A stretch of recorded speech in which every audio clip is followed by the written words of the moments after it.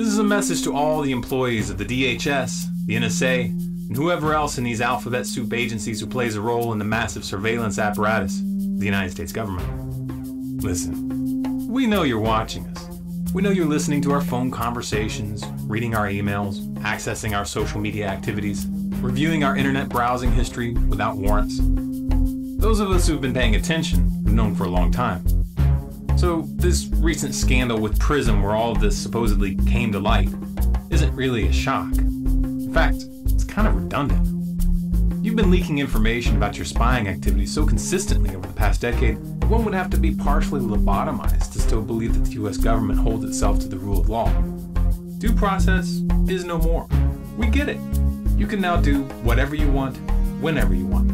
Warrants, probable cause. Ah, who needs them? All these concepts of inalienable rights. So last century, aren't they? You know, in spite of all the fuss about the leaks and whistleblowers, the truth is that those who are running your organization want us to know that we're being watched.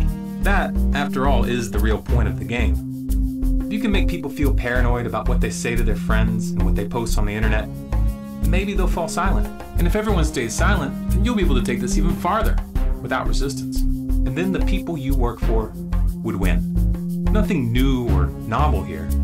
This is just the basic psychology of a police state. And America most definitely is a police state. You helped make that possible. You assisted in this power grab. So congratulations. Pat yourself on the back for a job well done. Got news for you though. We're not going to censor ourselves and cower in fear about what might happen when the government reads our emails or listens to our private conversations. No, no, no, no, no, no. To the contrary, we're just going to get louder.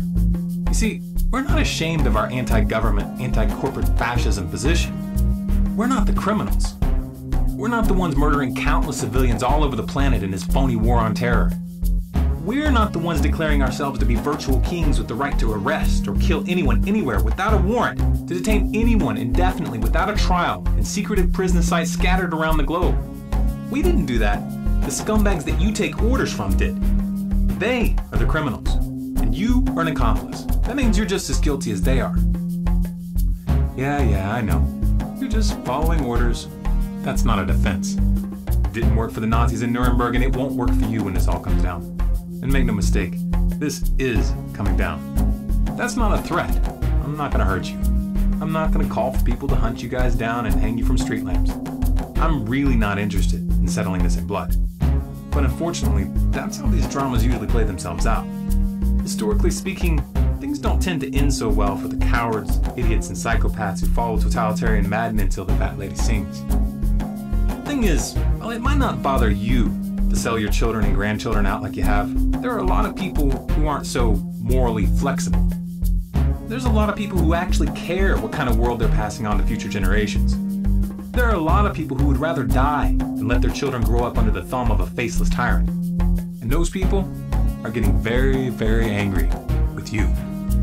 We, the people, don't want your so called security services. You're not working for us. If you were, you would be using your power take down the criminals who are running the United States into the ground. So, on behalf of the people of the United States of America, consider yourself fired. If you aren't working for the people, who are you working for? You better get clear about that right now. You better choose which side of history you're going to be on. Because when the tables turn, it's going to be too late for an apology. There is an alternative ending to this story, but it's going to require that you grow a pair. Going to require that you start doing what's right rather than just following orders. Let's talk about this in terms of the rule of law. The federal government was created by the Constitution. This is where its claims of legitimacy originate. The Constitution is a set of laws for the government, and every president, upon entering the office, swears an oath to abide by those laws. In case you forgot, there's a little section of the Constitution called the Bill of Rights. Now, the Patriot Act, the NDAA, PRISM, NGI Biometrics Database, and numerous other programs that the US government has put into place violate the 4th, 5th, 6th, 7th, and 8th Amendments of the US Constitution. Therefore, the personal data collected without warrants, without probable cause, and the systems that are being used to collect that data are tools in the commission of a crime. If our kangaroo court system will not bring justice, then it is incumbent upon you, the cogs in the machine, to find a way to bring this deranged circus sideshow on bath salts that we call the US government to account. It is incumbent upon you to act independently to bring about the destruction of those databases and the systems of information gathering. It is incumbent upon you that work within the surveillance apparatus to frustrate and slow the functioning of the system when it is used against the people, and to turn it on these criminals who have positioned themselves at the top of this machine, to gather information about their activities, and to leak that information to the public. You helped break your country, so you better help fix it. This isn't a request. This is your duty. This is your one and only path to redemption. If you agree with this message and you want those running the surveillance apparatus to listen, then share this video. Post it on Facebook, post it on Twitter, post it on your blog, send it to your friends via email. If you want to make sure that the watchers hear it, then add a few choice keywords in your post. In the description below, we've included a link to a list of words that are known to trigger their automated systems, and which will then provoke a human review. Let's put it in their face. Let's let these people know exactly where they stand. If you want more content like this, be sure to subscribe to Storm Clouds Gathering on YouTube. For updates and more interaction, follow us on Facebook at facebook.com forward slash stormcloudsgathering. Our existing Facebook followers got to influence this video you just watched by giving their perspective on the issue. Also be sure to follow us on Twitter at Collapse Updates. You can find us on Google Plus by searching for Storm Clouds Gathering, and our website is stormcloudsgathering.com.